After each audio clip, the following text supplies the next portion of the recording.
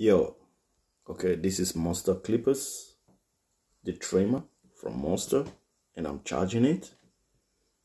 Yeah. And Wahl cordless detailer. For a very long time i never used this.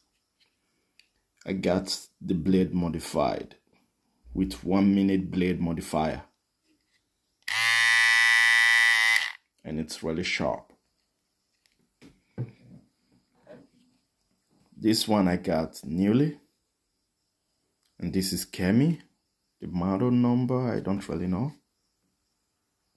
Okay 1593 with a Babyliss chameleon blade. And it works without mod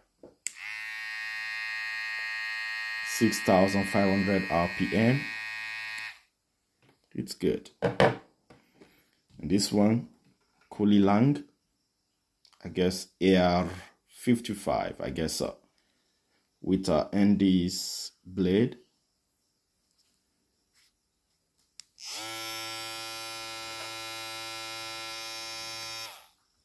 Okay.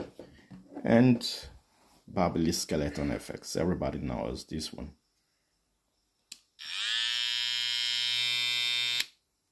Okay. And the saber trimmer with the one blade. The one blade. Oh, I need to charge it also. Okay.